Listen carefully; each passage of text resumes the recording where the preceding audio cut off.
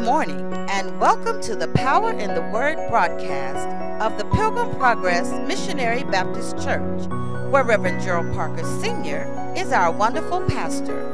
Our church motto is Let's Do It God's Way. Expect a blessing. Let's listen. From St. Mark, the second chapter. Uh, and when you find St. Mark, the second chapter, would you be so kind as to turn to verse 15? Uh, we've been in St. Mark for a few months now, and I don't know about you, but I've been blessed. It, just, just walking with Jesus step by step, step by step. And today we're going to walk with him again. Uh, St. Mark, the second chapter verse 15 says, And it came to pass that as Jesus sat at meat in his house, many publicans and sinners sat also together with Jesus and his disciples. For there were many, and they followed him. And when the scribes and Pharisees saw him eat with the publicans and sinners, they said unto his disciples, How is it that he eateth and drinketh with publicans and sinners?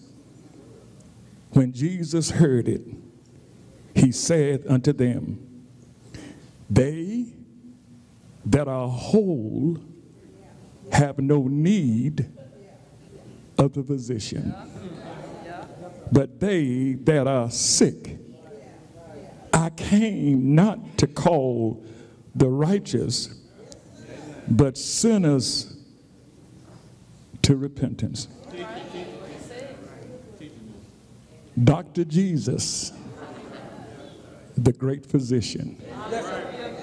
Say with me, Dr. Jesus, the great physician. Hallelujah today. I, I want to let you know here, thank God for these earthly doctors because earthly doctors, they are pretty good, but all they're doing is just what? Practicing. Most doctors hit and miss. Most doctors give you poison to put in your bodies. They know more about the poison they put in your bodies than the bodies that you have. And then they ask you to come back again and again and again. And what they'll do, they'll, they'll simply practice on you. I recommend Dr. Jesus, the great physician. Because not only is he a, not only can he heal your physical ailments, but Dr. Jesus is a soul doctor. He's a soul physician. And we find that out today in St. Mark, the second chapter, verses 15 to 17. And I give God praise. Let's, let's come on, let, come on, let follow me as we follow Jesus. I said, follow me as we follow Jesus because uh, a few weeks ago we found out that as Jesus was walking by the Sea of Galilee and he had a crowd with him, the scripture says, and he stopped and taught them. But as you go a little further, the scripture says he passed by a man named Levi. And Levi was a publican. And publicans were hated by the people in Capernaum. People hated publicans. Publicans were outcasts. Publicans were considered the riffraff of the community. Publicans were the lowest of the lowest. Publicans were considered sinners publicans were so bad until they were not allowed into the sanctuary. Publicans were so bad until you would not want a publican to be a witness at your court hearing because people didn't believe in publicans. But I've come to tell you on that day, Jesus stopped and asked that publican and said, Follow me. I have come to let you know that Jesus specializes in outcasts. He specializes in runts and rejects. And, and, and, and, and, he had a nerve to ask this outcast, ask this low life fella to follow him. And the scripture says, Pilgrim Progress, you got to read St. Luke's account. St. Luke says that, first of all, uh, Levi left all, rose up, and followed him. And so what I got to, so the lesson we can learn from that today is if you're going to follow Jesus, you got to leave something. And, not, and, and you, you, can't just leave some things, you have to leave all, everything. He left all, stood up, and he followed Jesus. He went from a publican to a saved man and became a child of God and a disciple of Jesus Christ. But look now at verse 15, the scene changes. And it says, And it came to pass. Yeah, yeah. We have just left uh, the seaside of Galilee. And the scripture says now, And it came to pass that as Jesus sat at meat in his house. Stop right there, Pilgrim Progress. I don't want you to get the wrong understanding. We see now Jesus has just left the seaside and now he's in, it says, in his house, and now he's sitting at meat, eating at a table. I want to uh, announce to everybody here that this house that Jesus was in was not his house.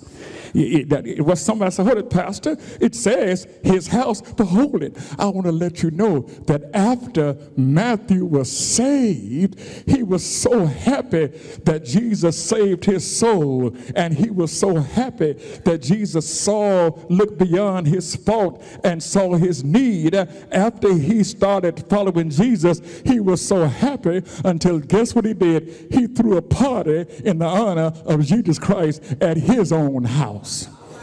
I said, that's right. Matthew, who was, who was a publican, Matthew, who was rich, after Jesus came into his life, he had a party at his house and he invited Jesus to be the guest of honor. I have come all the way to ask you this. Have Jesus saved your heart? Have he saved your soul? And I've come to tell you here that if he saved your soul, if he set you free, he should be an honored guest at your house. Oh, hold it. Wait a minute. Did, didn't you just say, Pastor Parker, that public that publicans were low, low people? Did you just say that, that publicans were outcasts? Yes, they were. But guess what? Matthew was a former publican. He was a poor former outcast. Yeah, yeah, because when he met Jesus, his, his whole demeanor changed. Yeah, he was no longer, yeah, uh, an outcast. He was now an incast, and he was now part of the family of Jesus Christ. But he was so happy to have Jesus in his life until he invited all of his low down friends. Yeah, that's all he could invite because all he knew all of his life were low down publicans. And so, guess who he invited to his party? He invited other publicans, he invited other sinners, he invited other low down people, he invited the unchurched folks to his party. And guess what happened? You know what happened here? As we look in this party scene, I can see the atmosphere now. I can hear men talking and rumbling. Every now and then, you might hear a curse word. You see, you got to understand these were publicans, these were the outcasts, and I can see every now and then I probably could hear a curse word. I, I hear rumbling, I hear people talking. But guess, guess who's sitting in the midst of those publicans and sinners? I say, guess who's sitting in the midst of those publicans and sinners? Nothing but Jesus Christ, the Lord of Lords and the King of Kings that he is sitting not only around them, but the scripture says the publicans and sinners were sitting with him at the table with Jesus, eating and drinking. Now, I don't know what they were drinking. Now, I'm not going to tell you now because, because they had regular things. But, but the point is that, yeah, somebody said, hold it now, Pastor. Are you telling me that Jesus was with all those low down folks? Yes, he was with them. But he was not participating in what they were doing. But, they, but he was with them and they felt comfortable being with him. Why? Because he had just saved Matthew, who was an outcast, and now here they are in the same house with the same man who had, saved, who had saved Matthew. And here they are sitting with, you. and can I, can, I, can I say something right now? I got to say something here. As I look at this thing, I have to say something about the church. Sometimes what we'll do, we'll build our buildings, and then we'll put a sign on the building. We'll organize our ministries, put robes on the choir, and then wait for sinners to come. I say we build our buildings, put robes on the choir, organize our ministries, and then have church every Sunday and wait for sinners to come. And what I'm trying to let you know is simply this that is not the job description of the church. And sometimes we'll build walls, we'll build walls up in between the church and the neighborhood, and we hope and pray that no unlost and no undesirables will come in our church. Because if people are coming to church looking different from us and smelling different from us with bad reputations, those are not the kind of people that we want to associate with. After all, we are a church and we are saved folks, and, and we should be around saved folks. If, if I want a doctor, I want a Christian doctor. If I want a postman, I want a Christian postman. Yeah, yeah. If I want a teacher, I want a Christian teacher. I want to I want to associate with nothing nothing but Christians. But I've come to tell you here, Jesus took time to, to sit down with the riffraff of the community. He sat down with sinners and those who were low-lifted and those who were down and out. He, he sat down with the unchurched there in the house. And this should teach us a lesson. And the lesson this should teach us is that we should never feel like we're better than anyone else. I'm trying to, I'm trying to help somebody. He, he, he could have either said, No, I'm not going to go in there because all those been in there and they're cursing and they're drinking and they're doing all of this. But Jesus sat down at the table with those brothers.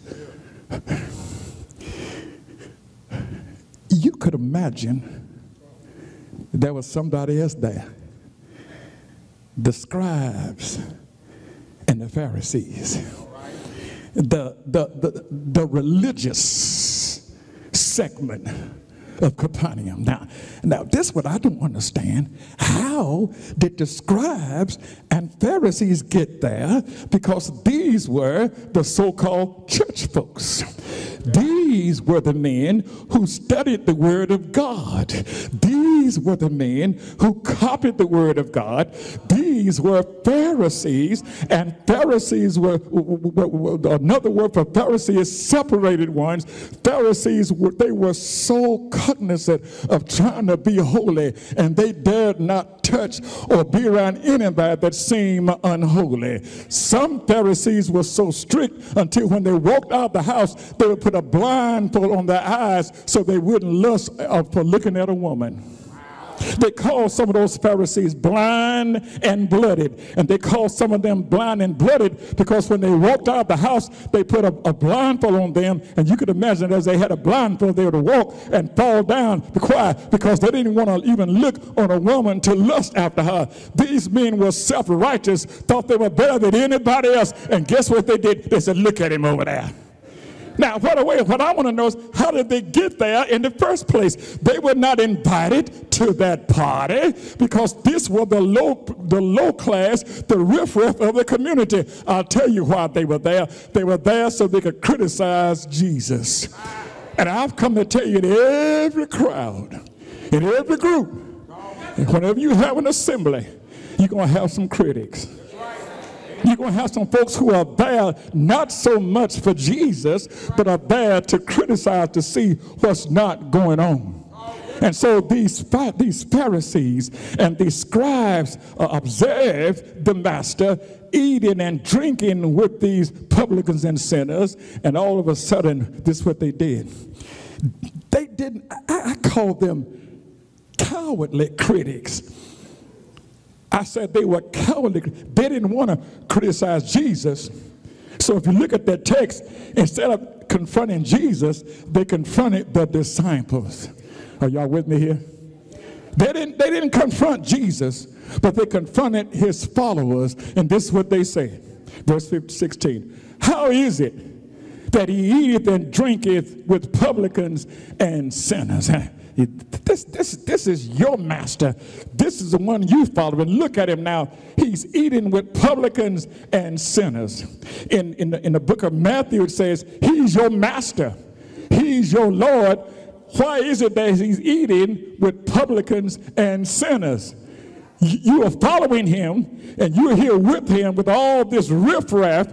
Why is that Jesus is eating and drinking with these sinners? Pilgrim Progress and visitors, as I go to my seat, I'm so glad to announce that while they were criticizing Jesus with the disciples, Jesus overheard what they were saying. I say he overheard what they were saying. And, and you know, I, I, I, this is what I've learned about the master. He could have easily ignored what they were saying, but instead of ignoring it, he confronted them. I say he could sometimes, sometimes it's not wise to keep your mouth closed. There's a time to open up your mouth, and then there's a time, yeah, to say some things. And at this time, and so what he did was he answered their question. Their question was, why is it that this man, Jesus, is eating and drinking with publicans and sinners? I was reading one commentary that says that Jesus gave them an apology. No, he did not give them an apology. He didn't, he didn't apologize for being with those sinners. He did not apologize for sitting down with the, with the publicans and sinners. Uh, instead of giving them an apology, he gave them his mission statement. When Jesus, look at verse 17, when Jesus heard it, he said unto them, My answer to you is this they that are whole have no need of a physician, but they that are sick. And somebody said, why would he say, what he was letting them know was this. There are a lot of sick folks in this house. Uh, I, am not talking about sick with diabetes or sick with high blood pressure or, or sick with cancer. There are some sin sick people in this house, and guess what? I'm Dr. Jesus. And I've come to tell everybody here, my brothers and sisters, that we talk about all, there are, there are 1,500 different kinds of diseases that you can die with, but the most terrible disease of all is sin itself. Sin is a sickness. Sin is a disease. And sin, my, it, it, it's a blood disease because we were born in sin. Sin is a corrupting disease. It will slowly corrupt you. Sin is a deafening disease because Jesus healed deaf people and Jesus healed uh, blind people. But I've come to tell you, sin is a treacherous thing. Sin sin will tear you up. And the middle letter of sin is I. Sin is an I centered type of situation. And I've come to tell you the wages of sin is death. But Jesus said, He said, what I'm trying to let you know is, I am the physician and I'm a doctor, and that's why I'm here. I'm here because I can help these sin sick folks. I've come to tell everybody here the reason why Jesus was there was because he knew it was full of men who were sick with sin. And I've come, he said, I am a physician. And I, I, I, I've had you long enough. Can I tell you here? Jesus is the glorious physician. And notice what he said. He said, They that are whole have no need of the physician. Notice he didn't say a physician because I've come to tell you, yeah, there's only one doctor that can cure sin. There's just one doctor that can give a, give a, a remedy for sin. There's just one name given unto men whereby men must be saved, and that's the name of Jesus Christ. He is the glorious physician. He is the doctor of doctors. And I've come to tell you, in order to be a doctor, yeah, you have to have gone to school and you've had to already had a diploma in order to be a doctor. You wouldn't want to go into the doctor's office and all he had was a high school diploma.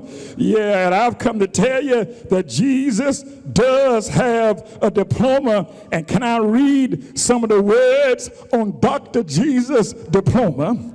Uh, here's some of the words on Dr. Jesus' diploma. The Spirit of the Lord God is upon me because the Lord hath anointed me to preach good things unto the meek.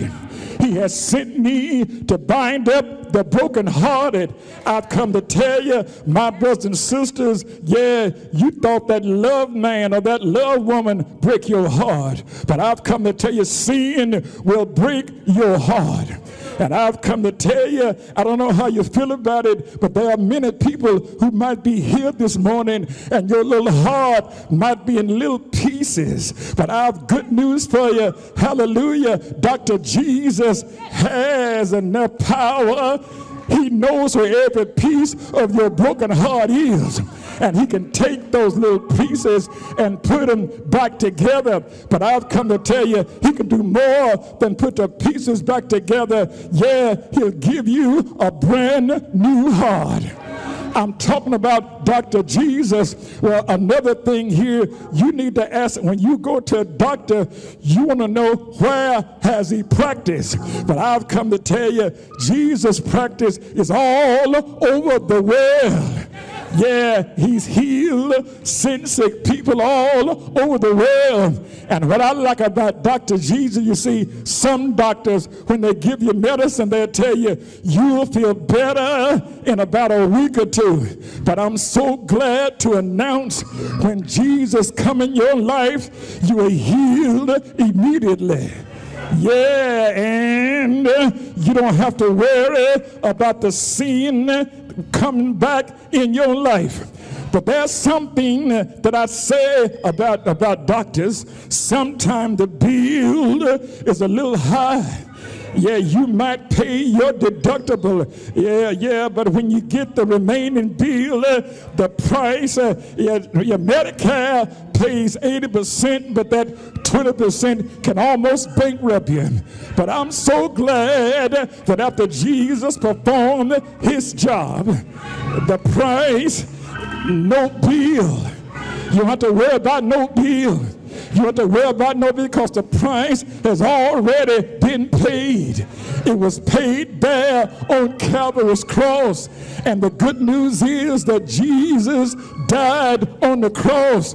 But I've come to tell you one more thing, and I'm sitting down here. Sin is a blood disease. We got that disease from our parents, Adam and Eve. We were born in sin, and sin is a blood disease. And the only way that sin can be eradicated, it takes special blood. I said it takes special blood. And I'm so glad that on Calvary's cross, Jesus shed his blood for your sins and mine. And early Sunday morning, he got up out of the grave. Thank God for Dr. Everybody say Dr. Jesus. Thank God for Dr. Jesus. And I don't know how you feel about it. Yeah, you can come just as you are. No sin, no sin, no sin is too bad for Dr. Jesus to heal you of your situation. I don't know about you, but I used to be a patient. Uh, have you ever been a patient? Have you ever, I said, have you ever been a patient? Have you ever been in your sin? Did Jesus come by? Did he heal you of your sin? Can you bear witness? I know what the Lord can do. He picked me up, turned me around, gave me a new heart. I'm a child of God. If any man be in Christ, He is a new creature. But one day, my brothers and sisters, that same Dr. Jesus is coming back again. And when he comes back again, he's coming back for all of his patients. Can I get a witness here? I don't know how y'all feel about it, but I'm so glad today that Jesus is a healer. He's Jehovah Rapha. He's, yes, sir, he will heal a sin sick soul. I don't know how you feel about it, but one day I was sin sick, and one day you were sin sick. But guess what? We came to Jesus just as we was, wearied, wounded, and sad. We found in him a resting place, and now he's made us glad. Thank you, Jesus. Thank you, Jesus. Dr. Jesus. Physician Jesus. And I just want to tell everybody here to the utmost, Jesus saved. To the utmost, Jesus saved. To the utmost, Jesus saved. Thank you, Lord. Thank you. He's Dr. Jesus, the glorious physician. No sickness is beyond his ability. And Father, we thank you for your son, Jesus Christ, who said he was a physician. And we pray right now, Lord, as your word is going forth, that you would touch hearts and that you would continue to touch minds. In the name of Jesus, we pray. Amen.